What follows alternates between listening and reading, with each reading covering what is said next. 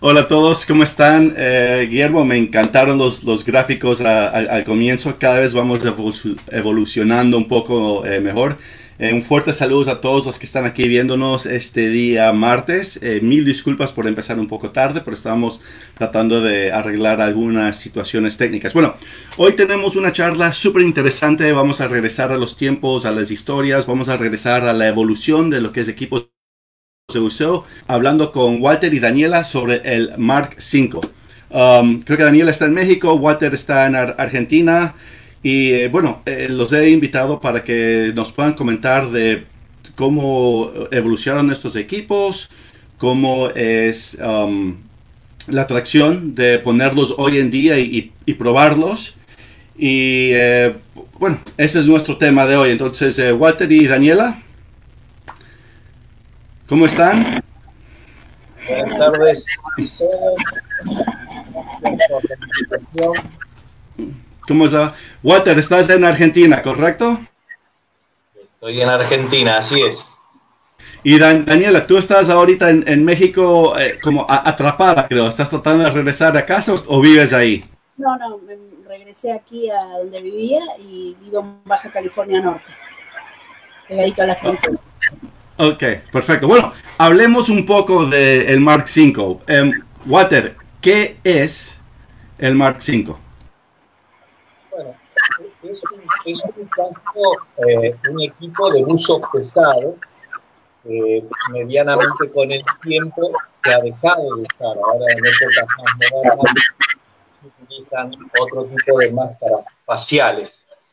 Pero es un equipo que se usó durante muchísimos, muchísimos años y hasta hace unos cuantos años atrás em, se ha usado en lugares como Chile, que yo, para lo que es la parte de buceo profesional.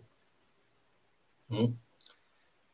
Este, es un equipo Diego, tú tienes una... foto para enseñar que estamos hablando ahorita, a ver si Guillermo lo pone. A ver. Perfecto, ahí va. Ok, so eso, es, eso es el casco, ¿no? ¿El Mark es, es el casco o es el equipo completo? No, es el, es el modelo del casco, sí. Ok. Y aquí nosotros estamos viendo eh, un programa que ustedes eh, ofrecen a personas para probarlo o, ¿qué, es lo que estamos viendo. Aquí los veo en una piscina. Sí, ahí lo, lo, que estás viendo, lo que está viendo toda la gente es eh, el equipo de Mark V, este, con todo su traje, sus pesos, sus zapatones. nosotros somos un grupo eh, de cinco o seis personas, Juan José Rodríguez, Daniela, Carlos Cañamás, este, Nelson de Sousa, Pablo, este, Juan Carlos. Somos un grupo eh, que trabajamos con este equipo para que la gente tenga una experiencia de lo que era utilizar este equipo o sea, es más o, más o menos un Discover Scuba con, con, el, con el Mark V. Sí, más o menos eso, sí, sí. Cada uno de nosotros, eh, la gente se anota, lo publicamos por diferentes redes. Daniela es la que se encarga normalmente de todo el merchandising y el marketing. Eh, y después eh, Juan José Rodríguez es el que se encarga de la parte subacuática y de acompañar al buzo que está equipado, fotografiarlo, filmarlo y hacer diferentes ejercicios. Y mm, Charlie, Nelson, Pablo, Juan Carlos este, y yo este, nos encargamos de eh, la parte de explicación de lo que se va a hacer, cómo lo va a utilizar y de la vestimenta, ¿no? De poderlo equipar completa, completamente a la persona que va a ir a la piscina. Dani, eh, tú haces el marketing para esto. Eh, ¿Quiénes son las personas que están generalmente interesadas? ¿Son personas que ya son buzos o son personas que tienen una pasión por historia o por el mar? ¿Quiénes son las personas que realmente dicen yo quiero probar esta experiencia, yo quiero hacer esto? Bueno, normal, la realidad es eh, que es una actividad muy llamativa, ¿no? Es un equipo con mucha historia, entonces buzos y no buzos creo que, que conocen este equipo, el que no es buzo ha visto la película Hombres de Honor, entonces es como que, que queda atrapada con este equipamiento. Eh, normalmente los que vienen a la actividad son eh, buzos, ¿no es cierto?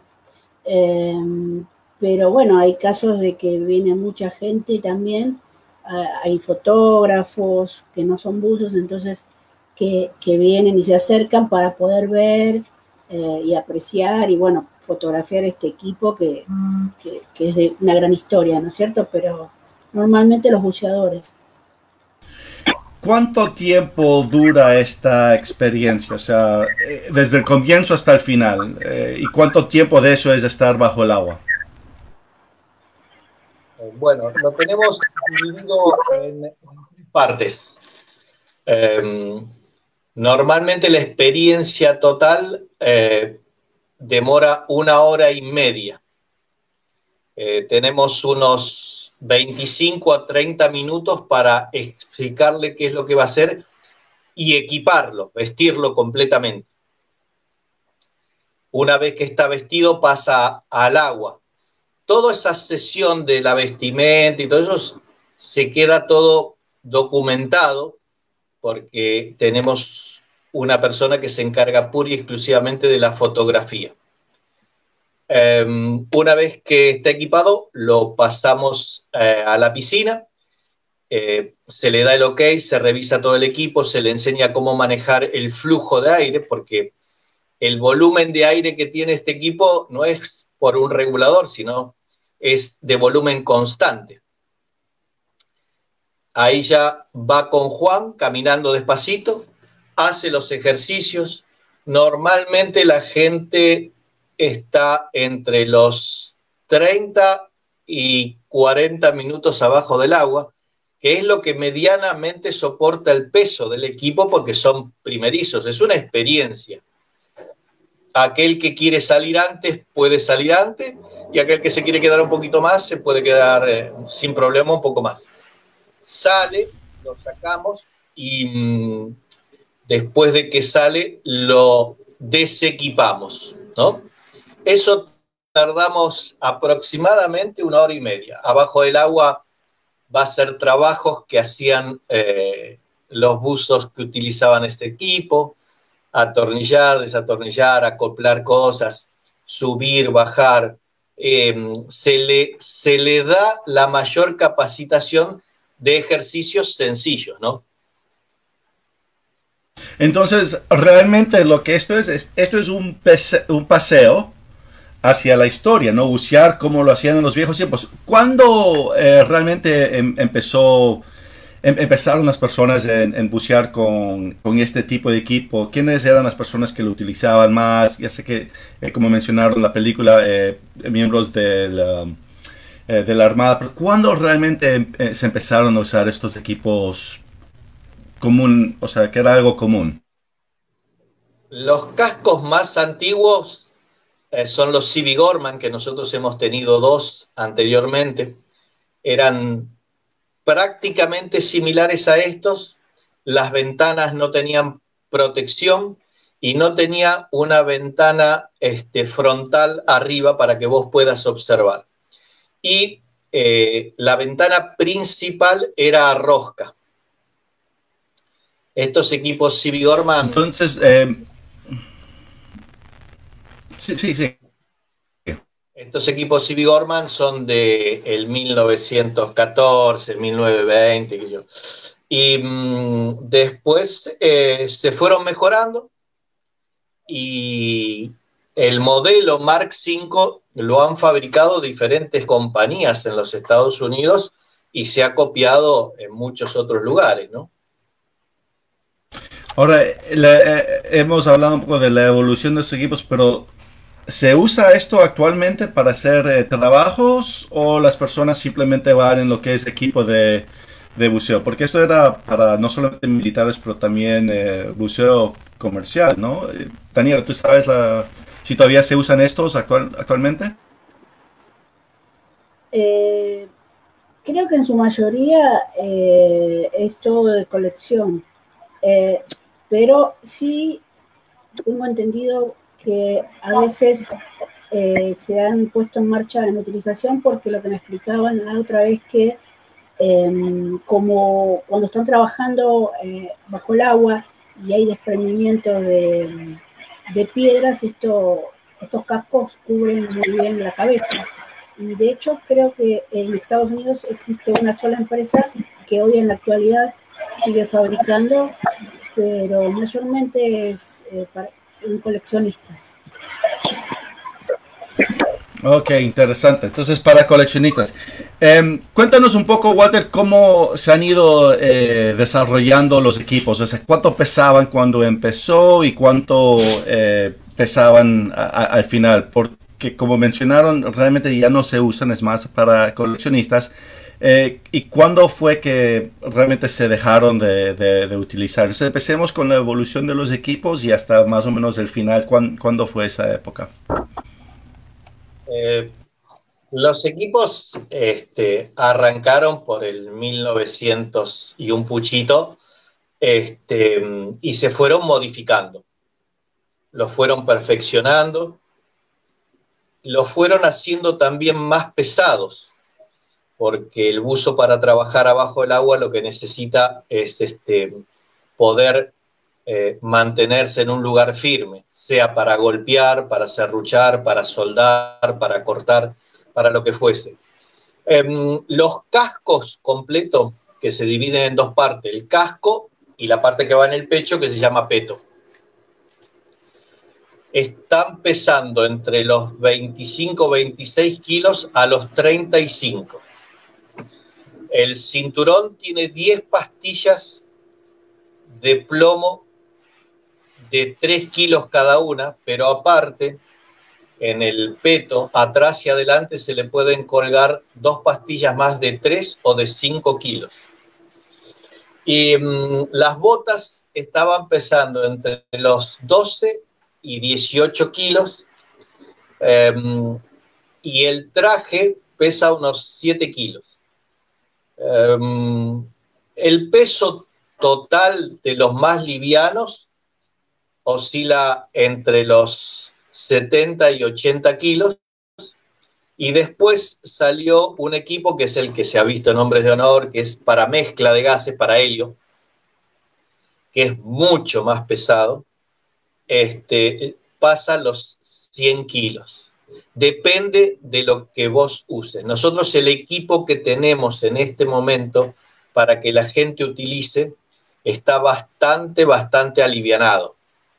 Este, nosotros le hemos sacado, no necesita, el cinturón no necesita tantos kilos. Los zapatones, tenemos unos zapatos de entrenamiento que pesan unos 4 o 5 kilos cada uno, este, en vez de los de 17. Y ya que voy a aprovechar, voy a hacer una, un, bocadillo para toda aquella gente que, que nos ha visto utilizar el equipo, que nos comenta.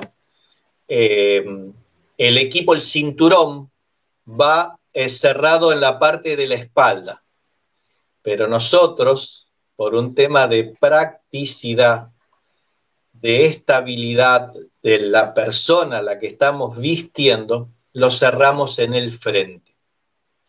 Entonces muchos han observado y nos han mandado algunos correitos o le han consultado a Daniela.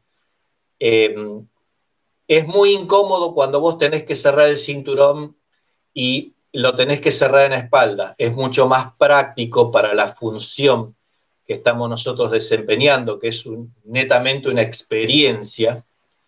Es mucho más sencillo cerrarlo de frente. Nada más que eso, que es lo que por ahí hubo un grupito de expertos o de aquellas personas que han utilizado. Eh, siempre, siempre, van a ver, Walter, siempre van a ver esas personas. La persona que siempre sabe más, ¿correcto? Bueno, qué interesante. Entonces, eh, Daniel, haces el marketing, pero tú eh, también eres buzo, también te has metido en esto, ¿te gusta eh, eh, probarte el equipo?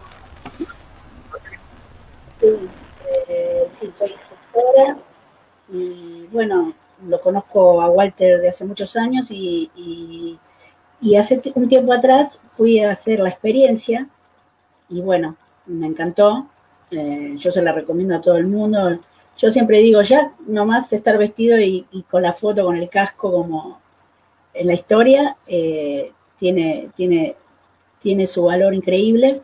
Y sí, hice la experiencia y bueno, después eh, empecé a, ayudar a Walter a, trabajar con él y bueno, y me encanta, ¿no? Me gusta mucho. Y em, Walter, cuando yo, eh, cuando yo te vi en eh, Buenos Aires hace que, fue el año pasado, creo que fue, ¿no? para el, el evento del Congreso del buzo. Ahí vi el, el, Mark V. Eh, ¿Cuál modelo fue ese que tenías, eh, que llevaste ahí? ¿Y, cómo, cargan esa, eso? ¿Lo, ponen en, en, ruedas? Porque no los vi. O sea, yo lo vi montado en la mesa. Es pesado. Sí, es pesado. Nuestro, nuestro casco está pesando completo, ¿no? 30 eh, kilos. Este, lo, lo, dividimos, en dos partes, lo, lo transportamos en dos partes. Normalmente este, vamos dos o tres personas en ese evento que mm. tuvimos. Juan José también em, iba a dar una, una charla. Este, aprovechamos, bueno, nosotros estamos juntos trabajando, así que bueno, uno llevó el casco y otro llevó el peto y después lo armamos ahí este, en, en el evento, ¿no? Sí, sí, sí, sí me acuerdo, sí, estaba chévere. Ah, bueno, tengo que probarlo un, día de estos cuando regrese a Argentina, cuando, cuando se abra el mundo, ¿correcto? Aquí tenemos algunas preguntas. Eh, empecemos con eh, la primera de eh, nuestras amigas con Micalimba. En función del peso del equipo, ¿hay un limitante para poder hacer la experiencia? O sea, hablando del estado físico del participante, hay algunas personas que eh, de repente son muy bajos, eh, muy altos, o sea, o, ¿cómo, determinan eso? No, bueno, hemos tenido de todo, principalmente chicos infantiles o chicas muy delgaditas, de unos 45 kilos, y hemos tenido eh, muy, muy grandotes, de unos 140 más o menos.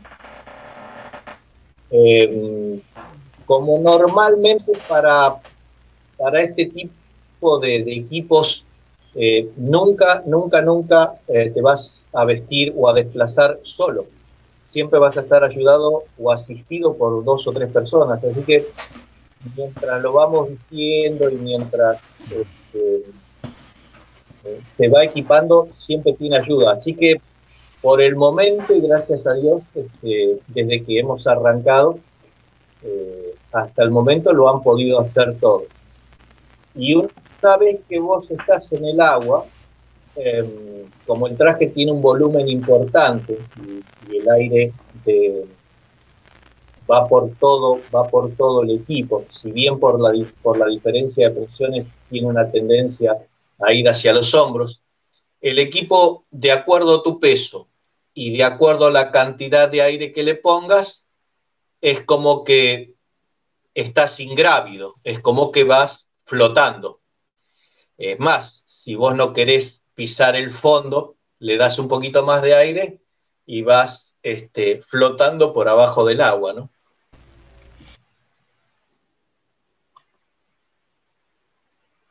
Eh, estábamos hablando sobre el peso eh, de las botas eh, y no es un buceo normal, estás bajo el agua y estás caminando, no hay lo que nosotros consideramos eh, eh, neutral buoyancy, ¿no? Em, realmente aquí en esta situación lo que es ideal es el peso y el modo de transporte no es nadar, es caminar, ¿correcto? Exacto, sí. Este, vos vas a ir caminando por el fondo. Este equipo se utilizaba de dos maneras eh, aquellas personas que podían desplazarse por el fondo. No hay que olvidarse que el buzo iba atado y aparte tiene una comunicación de aire con superficie por intermedio de una manguera llamada narguil. Eh, y la otra manera es que lo bajen en una jaula, ¿no? Ok. Este, eh, Walter, otra cosa, ¿hay, hay comunicación eh, o usan señales? O sea, ¿hay eh, radio adentro, hablan con, con, la superficie o con los otros buzos o, es solo señal de manos? todos estos equipos estaban equipados con comunicación. Nosotros al nuestro se la sacamos porque nos es más fácil nos indiquen con las señales convencionales del buceo.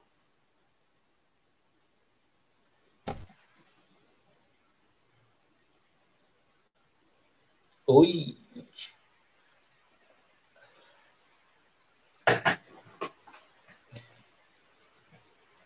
Cris. Perdón, sí. Eh, tengo aquí una pregunta de Cristian y él quiere preguntar eh, cuál es la profundidad máxima en la cual se puede utilizar eh, estos equipos. ¿Hay una profundidad máxima o de repente es tan, qué tan largo es la manguera? No, no, no. Tenés estos equipos por las características, ¿no? Que los equipos convencionales de aire como el que tenemos nosotros se han usado hasta los 63, 66 metros y el de mezcla de gases está hasta los 100 metros. Eso es información, digamos, eh, genérica, ¿no? Que, tenemos nosotros. Por ahí eh, alguna persona o alguna empresa o por ahí bajó más con estos equipos. Pero nosotros cuando terminamos de, de que se realice la experiencia Mark V, aparte de entregarles la foto clásica, como dijo Daniela, del buzo sentado con el casco encima de la rodilla, le entregamos eh, lo que es la historia de, la Mark V, este, para que sepan de dónde viene el equipo y cómo este, está formado o conformado el equipo que han usado.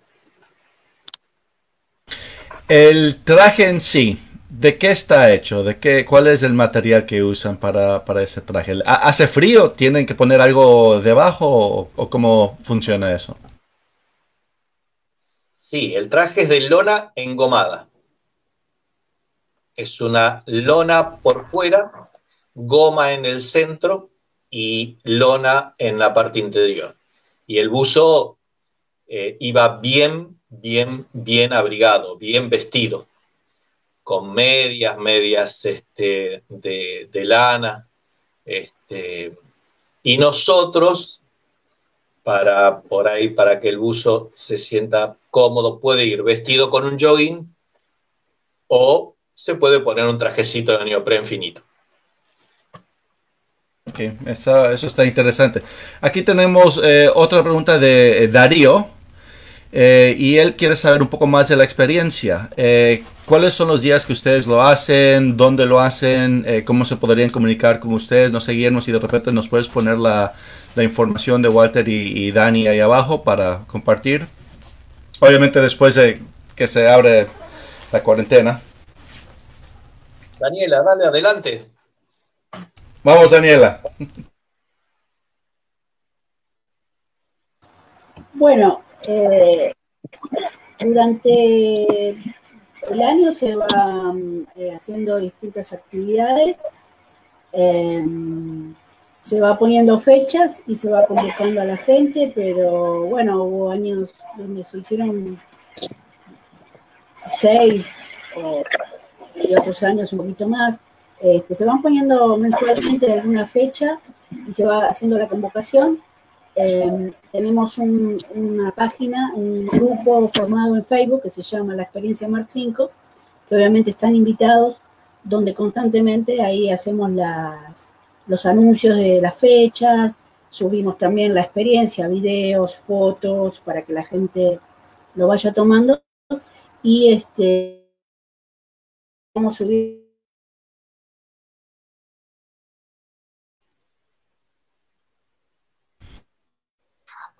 Entonces, eh, entonces las personas tienen que hacer una cita, eh, correcto, o sea, tienen que llamarlos primero y decir yo quiero probar esta experiencia. No es un lugar donde simplemente como un parque donde pueden llegar y decir yo estoy aquí para, probar el, equipo, correcto. toma preparación. ¿Qué fue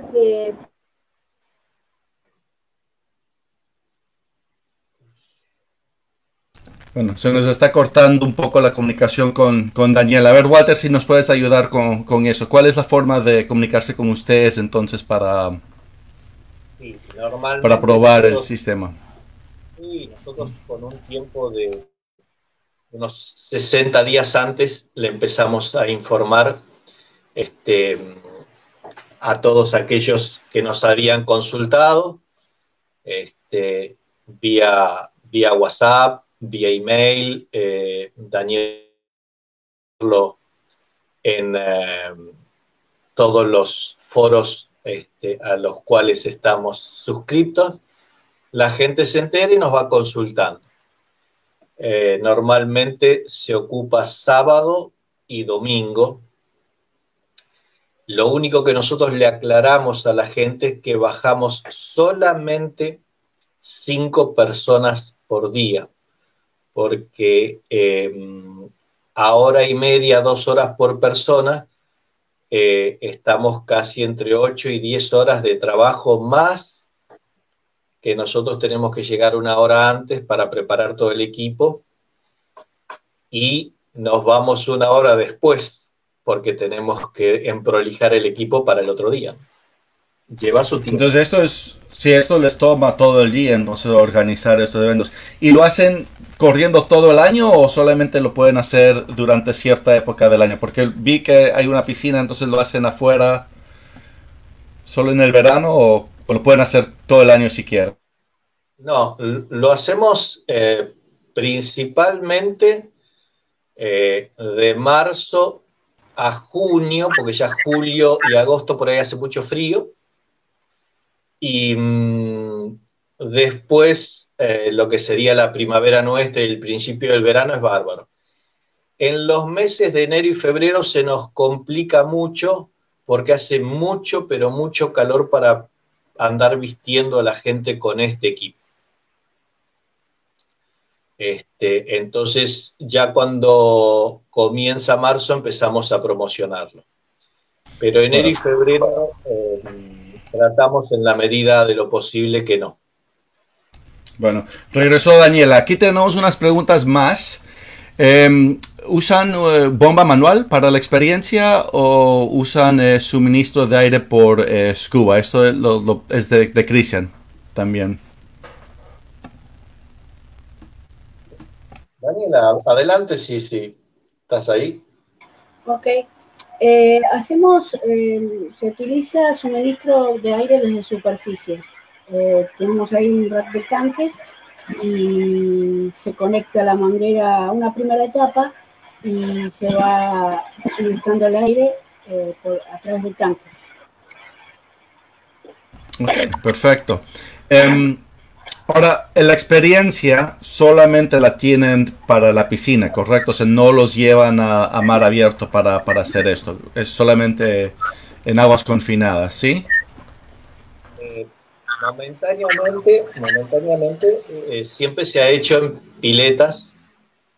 Eh, nosotros tenemos eh, colegas que tienen su propia pileta, su propia escuela, y por ahí el instructor de esa escuela nos llama, nos avisa, porque quiere hacer el evento en su pileta. Entonces vamos con todo el equipo él se encarga de juntar a la gente, de darnos día, fecha y hora, y nosotros asistimos. Em, perfecto. Con Juan estuvimos varias veces y oportunidades, nos han pedido para hacerlo en el mar, en canteras y en lagos. Eh, lo que pasa es que todavía eh, no se ha dado la oportunidad, pero sí este, eh, hay veces que nos consultan y nosotros, bueno, tenemos que ver siempre los lugares, las autorizaciones que se necesitan, etcétera. Perfecto. Bueno, aquí eh, ahí, creo que vimos el, número de teléfono para contactarse con, ustedes. Em, otra pregunta que llega, aquí está el número de teléfono, aquí abajo. eh, pueden hacerlo por WhatsApp para comunicarse con ellos, para preguntarles cuándo, bueno, cuánto cuesta, dónde van a hacer la experiencia, cuáles son las fechas y todo eso. Eh, Rubén Campuzano tiene aquí una pregunta, regresando a lo que era eh, comunicación, que cuál era el propósito de remover el sistema de comunicación. Mencionaste que prefieren de repente usar las señales que usan los buzos, pero ¿cuál fue realmente el propósito de, quitarlos? O sea, ¿no funciona tan bien o... Eh, cuéntanos, Daniel o Walter. Em, el tema fue así, o sea, removimos el sistema de comunicación antiguo que tenía porque el cableado ya estaba muy antiguo. Em, compramos uno moderno, pero este, se nos complicaba un montón con todo el tema del cableado. Entonces, eh, para hacerlo más simple, principalmente para nosotros, y después por el tema de eh, que el buzo normalmente, eh, si tiene que hacernos alguna seña, ya las señas las conoce, las de buceo convencional, entonces optamos por no poner la comunicación. Em, el sistema de cableado, eh, nosotros en este momento tenemos unos 37 metros de manguera em, y unos 50 metros de cabo donde va el buzo atado. A eso le teníamos que agregar unos 30 o 40 metros de cableado y mm, este, siempre nosotros, e, el, cable que se utiliza eh, tiene, es muy oneroso en costos y mm, nosotros lo metemos en, eh, en la pileta con cloro. Eh, así que tenía que ser un cable relativamente bueno, bueno, bueno. La manguera que estamos utilizando es una manguera especial para ácidos, lo mismo que el cabo. Y mm, entre que empezamos a pensar de que, bueno, tenemos que poner esto, tenemos que poner lo dijimos, bueno, momentáneamente tenemos todo el equipo, lo tenemos para instalar, pero no tenemos en este momento la cantidad de metros de cable específico que necesitamos. Es por eso, no, no, hay, otra, no, no hay otra razón. No, perfecto, eso es una buena razón. O sea, realmente estamos hablando de equipos eh, bien antiguos y si simplemente no hay eh, eh, la manera de actualizarlos con lo que nosotros tenemos en lo que es tecnología hoy día, hay, que hacer lo que se hace. tenemos aquí una pregunta de Alejo y él quiere saber em, hablando de lo que estamos hablando un poco de mantenimiento, eh, ¿cuál es el mantenimiento del equipo? ¿Cómo lo hacen? No sé, quiere ser en, referencia de, repuestos, ¿dónde consiguen los repuestos? Si de repente falla un tornillo, ¿dónde, acuden eh, para, ver eh, estos repuestos para, bueno, para que el equipo se mantenga top, ¿no? Lo que, es, el mantenimiento de equipo, el casco lleva un mantenimiento muy simple, este, hay que mantenerlo, este, una vez que se termina de usarlo, lavamos, limpiamos las ventanas y repasamos todos los sellos. Eh, con lo que respecta al traje, sí, el mantenimiento es un poquitito más oneroso porque el traje tiene sus años y mm, por ahí le encontramos alguna nueva filtración o algo por el estilo y se sella. Eh, y lo que son los zapatones y todo lo que es el cinturón se desarman, eh, se le pasa un, se le pasa una, digamos, cera o pomada o crema especial que tenemos para mantenimientos de cuero, eh, para que el cuero este, mantenga, digamos, su, su vitalidad y después se lo vuelve a armar. Con lo que respecta a las mangueras, regulador este, de primera etapa y yo, eso se lava en agua dulce y se guarda. Así de sencillo. Cuéntanos un poco cómo se sienta, ver, Daniela, tú nos puedes eh, eh, comentar en eso. ¿Cómo se sienta? Porque sabemos cómo es bucear con un traje seco. Me imagino que muchos que nos están viendo ahorita saben cómo se sienta tener el aire entre el cuerpo y el traje pero ahora está también encapsulado la, cabeza entera. Entonces, ¿cómo se siente? ¿Se siente un poco más eh, de repente claustrofóbico o más libre una persona buceando, estando bajo el agua con, con este tipo de equipo? Eh, bueno, eh, la realidad es que es un poquito mucho más pesado. Como dijo Walter, bueno, se le ayuda a las personas a introducirse al agua. Una vez que estás en el agua, la situación cambia y se vuelve más, más tranquila, ¿no? O sea, el peso se va disminuyendo. La primera experiencia que, bueno, cada uno vive una experiencia diferente. Voy a contar un poquito la que yo tuve. Em, sí, la realidad es que cuando te cierran la tapita eh, y la tornilla y llega el momento de, bajar, el primero, con lo que primero te encontrás es que si quisieras que te pica la nariz o algo, ya te ves con, con limitaciones eh, a mí me pasó que cuando me cerraron la ventanita, automáticamente eh, tuve que empezar a compensar. Y lo primero que haces es querer llevar las manos hacia la nariz y te das cuenta que eh, no se puede. Entonces ahí empezás a tratar de compensar tragando la saliva, moviendo la, mandíbula. Una vez que, bueno, ya se supera ese primer paso, al menos en mi experiencia, eh, uno ya comienza a bajar y, bueno, va tomando, como todo, ¿no? Vas tomando confianza, confianza.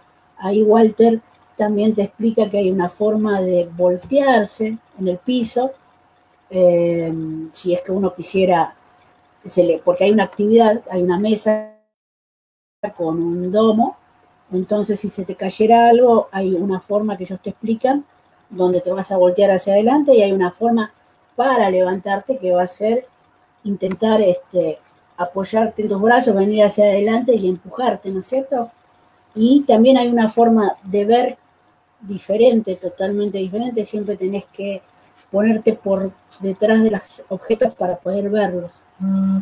Pero bueno, eh, cada, cada uso que sale tiene alguna, le pareció más difícil alguna cosita que al otro no, pero bueno, es muy fácil y es muy divertido, realmente.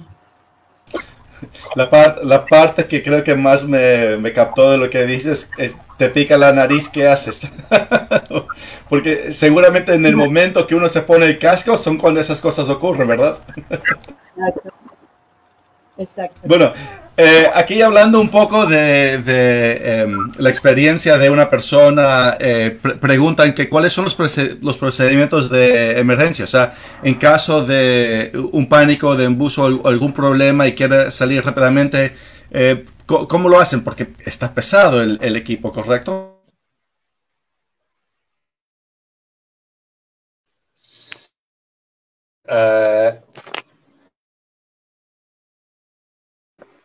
Ops. Ops. Sí, ahí te, te escuchamos, Walter.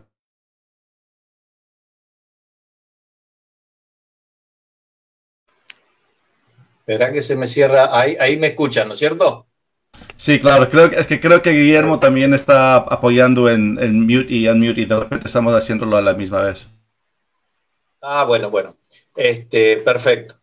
Em, no, mira, procedimientos de emergencia nosotros le explicamos a la persona que baja. Eh, primero baja atado. Eh, cualquier necesidad de salir urgente, eh, las personas que están asistiendo de afuera los sacan. Em, nosotros el recorrido que hace este, es bastante corto. Y después em, hay un tiempo muy largo y prudencial en lo que respecta, supongamos que se quedó em, sin aire por X causa, que bueno, no, sucede porque nosotros tenemos un manómetro afuera, eh, sabemos em, qué cantidad de aire le queda. Y es más, muchas veces les avisamos que si por ahí el consumo que tienen ellos es importante, que si no escuchan el sonido del aire que está entrando por el casco, no se preocupen porque quiere decir que estamos cambiando de botellón. Eh, y el volumen que tiene el traje en lo que respecta a aire es bastante, bastante importante. Puede pasar que alguna persona, no nos ha pasado, ¿no? Pero puede pasar que alguna persona eh, en cierto momento quiera salir. Bueno, este, se cobra el cabo, se lo lleva hasta la parte baja, se le abre la ventana, se le gira el casco y bueno, vemos eh, la urgencia que había tenido.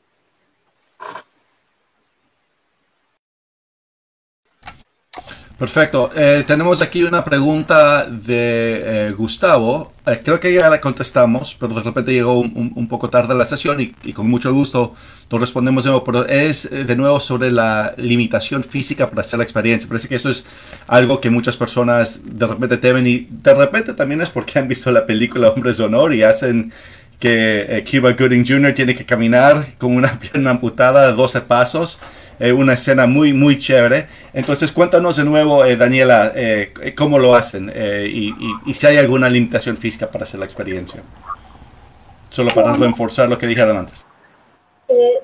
en realidad no hay ninguna limitación, inclusive en el grupo que tenemos, todas las personas pueden entrar y ahí están los álbumes de las distintas experiencias y van a ver que tenemos personas de distintas concepciones físicas eh, todas, en, el tiempo que yo tengo con eh, personas de conflictura, mujeres menudas y señores grandes han podido hacer la, la, actividad sin problemas. Eh, a todos se les ayuda, todo el tiempo se les hace soporte para caminar, para llegar a la, piscina, para bajar. Este, así que no, no hay ninguna limitación eh, hasta ahora no hemos visto ninguna.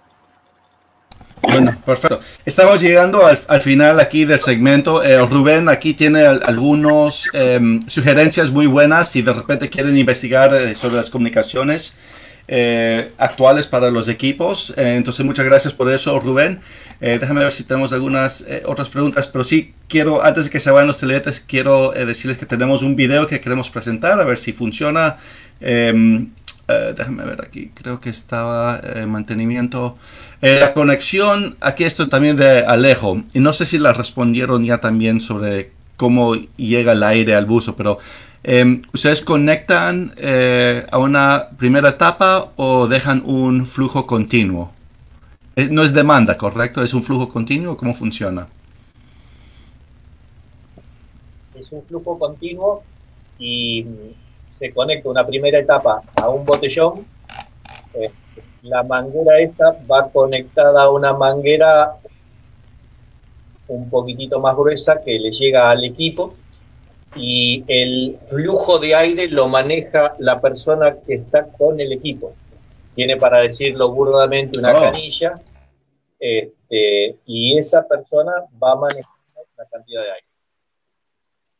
Súper interesante. Bueno, em, muchas gracias a, los dos, Walter, Daniela, por venir y hablar sobre esto. Yo ya estoy listo para la próxima que vaya a Argentina. Ojalá ustedes tengan un día para mí, para que yo pueda hacer experiencia. Suena increíble poder llegar a donde los, bueno, realmente son los eh, orígenes del buceo, de lo que todos nosotros tenemos, lo que estamos apasionados, son esencialmente los primeros equipos de, buceo, ¿no es cierto? Entonces, eh, gracias por compartir con nosotros lo que ustedes hacen y las experiencias que ustedes ofrecen. Em, a ver, Guillermo, si nos puedes eh, poner el video y eh, un fuerte saludos a todos. Walter y Daniela, no se vayan todavía. Quédense conmigo para conversar un rato después del show. Muchas gracias a todos, gracias por tomar el tiempo, gracias por de nuevo tenernos en su casa los martes en la tarde. Es un honor para nosotros estar conversando y dialogando con ustedes y hablando sobre las cosas que, nos apasionan, que es el, museo. Entonces, saludos a todos. Guillermo, si estás listo, pongamos el video.